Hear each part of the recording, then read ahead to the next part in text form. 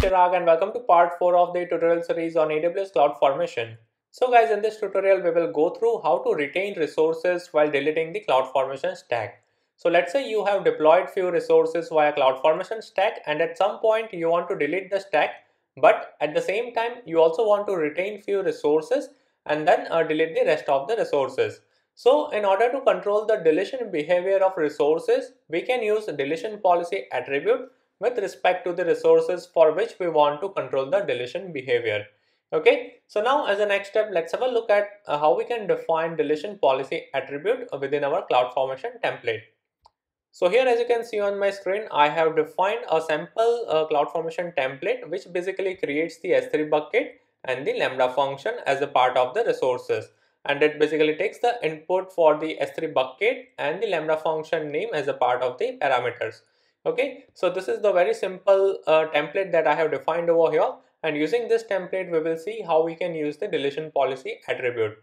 So before we go ahead and define the deletion policy for one of the resources let's have a look at how we can define the deletion policy first. So here to define the deletion policy all you have to do is to type in deletion policy and then followed by colon and then you need to define the option that what kind of behavior you want to achieve via deletion policy. So now here we have three options. So the first one is retain. The second option is snapshot. And the third option is delete. So here we have the three option as a part of the deletion policy.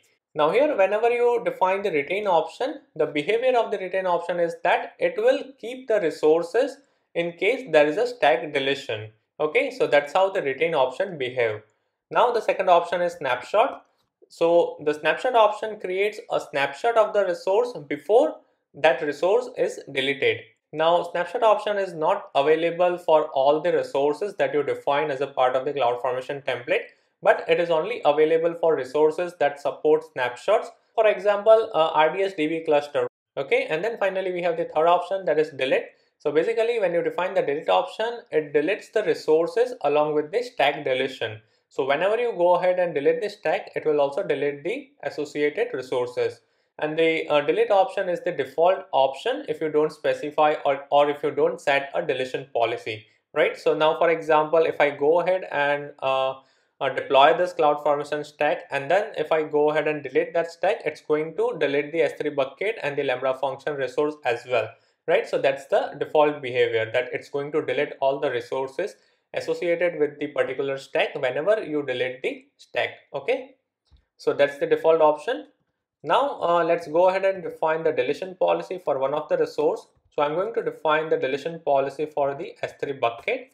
So in order to define the deletion policy, all you need to do is uh, go under the uh, particular resource and then uh, press enter and then all you need to do is to define deletion policy. And then uh, you need to define the option that what kind of behavior you want to achieve via deletion policy. So here we want to achieve the retain behavior okay? So whenever i go ahead and delete the deployed uh, cloud formation stack it should not delete this s3 bucket right? Because i want to retain this resource. I want to retain this particular s3 bucket whenever the stack is deleted so that's how we are telling the uh, cloud formation that we want to retain this resource. So now uh, here we are all set to deploy this cloud formation template. So let's go back to our AWS uh, management console and let's look out for cloud formation service. Now once we are within cloud formation management console, click on create stack. Now here uh, we will select template is ready and we are going to upload a template file and then click on choose a file and then I'm going to select the deletion underscore policy.yaml and then I will say open. And finally I will say click on next. Now here I need to enter the tag name. So I would say deletion demo. Okay. And then I need to enter the lambda function name and the s3 bucket name as a part of the parameters so I would say deletion. Okay. and then I will provide same name for the s3 bucket as well I would say deletion and then I will click on next okay it says tag name must contain only letters so I cannot enter underscore so let me remove this and then click on next next again and then I will say create stack. Now as you can see in the stack creation is in progress so let's wait. So I guess here we have some problem. So it says properties validation failed for resource lambda function with message required key role not found. Okay, uh, so basically we have not defined the IAM role within this uh, configuration or the properties. So that is something that we need to define. So let me quickly pull that out. So here I have this repository that is AWS CloudFormation template. So I'm going to copy it from here. So here I have this resource that is IAM role. So let me copy this and paste it over here for this lambda function. I would remove this role name. And then I'm going to define the property that is role. That is over here.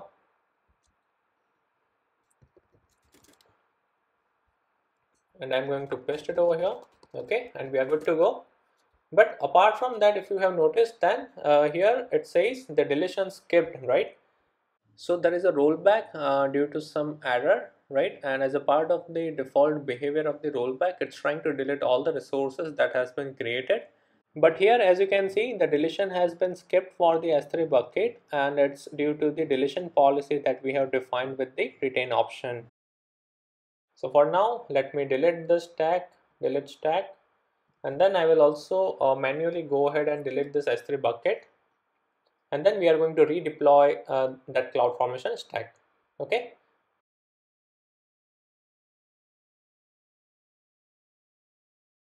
so here as you can see the stack is deleted. So now uh, let's click on create stack again. And I'm going to re-upload that deletion underscore policy.yaml file. Okay. And then let's click on next. Give the stack name I would say delete demo. Function name delete demo. Delete demo. Okay so I entered the same name for the lambda function and the S3 bucket as a part of the parameters. And then I'm going to click on next. Next again. And here I need to acknowledge because I'm creating the IAM role. So that's the reason I need to acknowledge this. So I'm going to check this. And then I will say create stack. So now the stack creation is in progress. Let's wait. So now as you can see, the stack creation has been completed and it's successful. Now if we look at the resources, then here we should be able to see three resources. One is S3 bucket, Lambda function and IAM role, right? And for these two resources, that is IAM role and the Lambda function, we have not defined the deletion policy. That means by default, whenever I will go ahead and delete the stack, it's going to delete the first two resources. But for the S3 bucket, I have defined the deletion policy to retain this resource. Now, whenever I will go ahead and delete this uh, CloudFormation stack, it's not going to delete the S3 bucket due to that deletion policy. Okay, so now let's try to delete the stack. So I'm going to click on delete and I will say delete stack. Now, if we look at the events, let me reload this.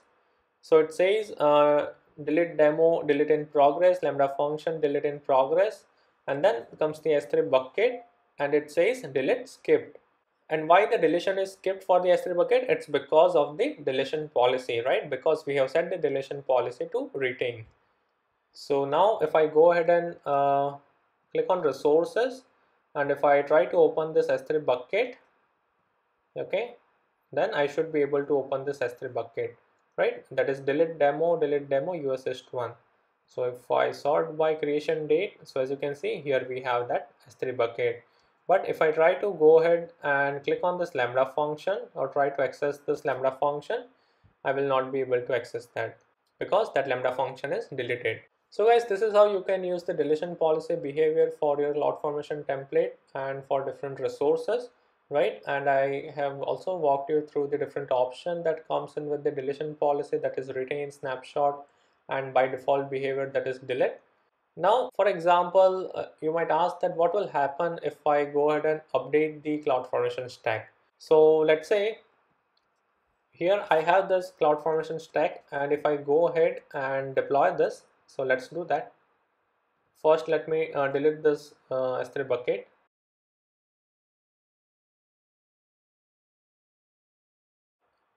So here I'm, I'm trying to show you that uh, what will happen if I deploy this CloudFormation stack right with the deletion policy as retained for the S3 bucket. And then uh, if I go ahead and update the same stack so what will happen to that resource right? So let's have a look at that. So here click on create stack. I'll say choose a file deletion policy. And then I'm going to click on next. With the stack name del policy I'll copy and paste the same for the parameters. Next. Next again. Acknowledge. Secret stack.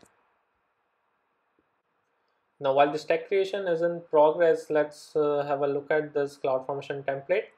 And let me uh, delete this resource from here.